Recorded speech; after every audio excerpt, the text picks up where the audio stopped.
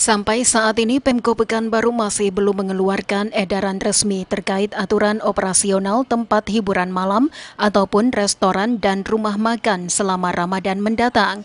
Menurut PJ Wali Kota Pekanbaru Edward Sanger, Pemko Pekanbaru saat ini tengah melakukan kajian terhadap kebijakan tersebut dan dalam waktu dekat aturan tersebut akan segera disebarluaskan.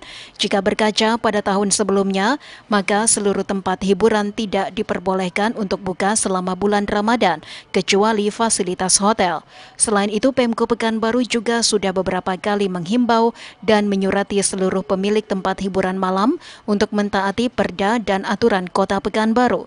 Namun sayangnya dari pantauan dan kondisi di lapangan, diketahui bahwa sebagian besar tempat hiburan yang ada di Pekanbaru masih ada yang melanggar aturan dan perda kota Pekanbaru nomor 3 tahun 2002 khususnya tentang jam operasional hiburan malam. Sudah, sudah tadi kan sudah dipaparkan oleh kawan-kawan mengenai himbauan, rencana himbauan, kemudian surat keputusan yang akan ditandatangani oleh kota untuk eh, baik itu restoran dan sebagainya, tempat hiburan eh, dalam kita memasuki bulan suci Ramadan. Dan saya menghimbau kepada seluruh kawan-kawan pelaku usaha baik itu tempat hiburan, eh, restoran, makan dan sebagainya. Mari kita sama-sama menghormati umat Islam dalam memasuki bulan suci Ramadan ini sehingga mereka dapat menjalankan ibadahnya dengan kusuk di mulut Sama nggak sama tahun kemarin Pak? Kalau secara umum, uh, secara umum barangkali tidak jauh berbeda, cuma nanti mungkin ada variasi-variasi sedikit karena kita bagaimanapun juga kita kan kota madani, madani yang harus kita uh, tonjolkan budaya itu.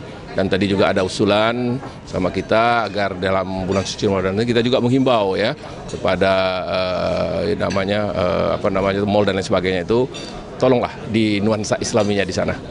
Untuk itu, Pemko Pekanbaru menghimbau kepada seluruh lapisan masyarakat agar dapat mematuhi aturan yang nantinya akan dikeluarkan selama bulan Ramadan.